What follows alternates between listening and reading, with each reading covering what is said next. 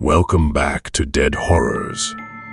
Mackenzie House, located in Toronto, Ontario, is a place shrouded in chilling tales and paranormal encounters.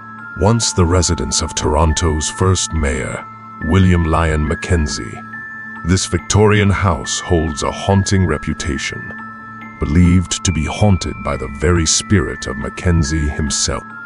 Visitors to the house, which now operates as a museum, have reported spine-tingling experiences, including ghostly apparitions, phantom footsteps echoing through the halls, and objects mysteriously moving on their own. Stepping into the eerie atmosphere of Mackenzie House, one is immediately transported to a bygone era. The creaking floorboards and dimly lit rooms set the stage for an encounter with the supernatural the tales of haunting begin with the restless spirit of William Lyon Mackenzie, a man known for his fiery spirit and political aspirations.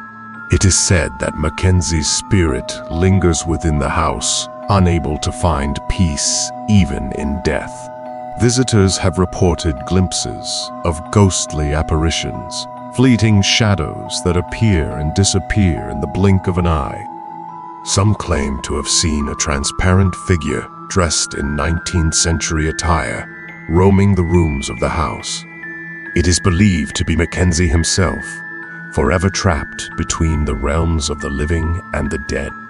As one explores the house, an overwhelming sense of unease fills the air. Whispers of long-forgotten voices seem to echo through the halls, sending shivers down the spine of even the most skeptical visitor. The sound of phantom footsteps can be heard, as if someone invisible is pacing the corridors, their presence felt but unseen. Doors mysteriously open and close on their own, and objects inexplicably shift position, defying the laws of the physical world. In the dining room, a chilling presence is said to linger, Visitors have reported feeling an icy breeze sweep across their skin, accompanied by an unnerving sense of being watched. Some have even claimed to witness the flickering of candles without any discernible source, as if unseen hands are manipulating the flames. The attic of Mackenzie House is a particular source of dread for many. It is here that the most intense paranormal phenomena have been experienced. Visitors have described an overwhelming heaviness in the air, as if an invisible weight is pressing down upon them. Cold spots, where the temperature suddenly drops, have been felt, sending a shiver down the spine. The sound of disembodied whispers and faint laughter fills the attic, leaving those brave enough to venture there with an unshakable feeling of dread. Despite the unsettling encounters, Mackenzie House continues to operate as a museum, welcoming curious visitors seeking a taste of the supernatural. The museum staff themselves have shared their encounters with the unexplained, adding to the house's haunted reputation. They have reported objects mysteriously vanishing, only to reappear in unexpected locations, and the feeling of being watched even when alone in a room. Whether one believes in the paranormal or not, the stories surrounding Mackenzie House leave a lasting impression. The building stands as a testament to Toronto's history, intertwining the life of William Lyon Mackenzie with the mysteries of the afterlife. For those brave enough to step through its doors, Mackenzie House promises an encounter with the unknown, where the past and the present collide in a chilling symphony of ghostly whispers and spectral apparitions.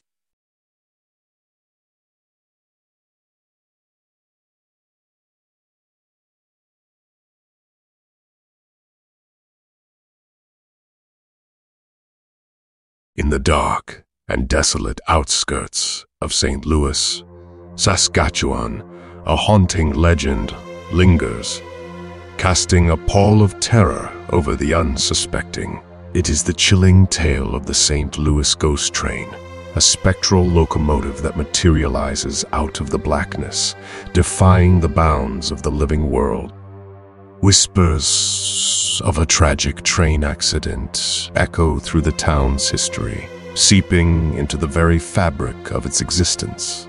Long ago, a fateful night gave birth to this supernatural phenomenon, forever entwining the souls of the departed with the tracks that traverse the eerie landscape. Locals recount the harrowing details of the catastrophe, speaking of a twisted metal wreckage and the agonized cries of those trapped within.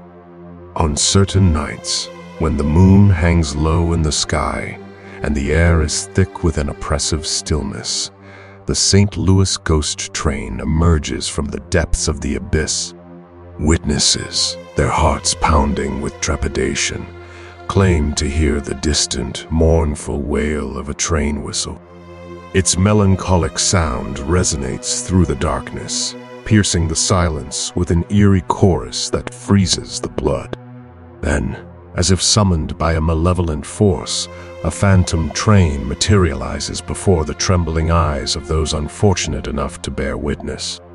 A spectral locomotive, wreathed in an ethereal glow, glides along the tracks with an otherworldly grace. Its spectral wheels spin without sound, defying the laws of the physical realm. Wisps of phantom steam billow from its spectral chimney, dissipating into the night like specters themselves. As the ghostly train barrels through the night, a sense of foreboding descends upon the onlookers. Some swear they can see the faces of the ill-fated passengers peering through the fogged-up windows, their eyes filled with an eternal sorrow. The air grows colder, laden with an unearthly chill that seeps into the bones, leaving those in its wake with a paralyzing dread. Terrified witnesses find themselves ensnared in a vortex of fear and fascination.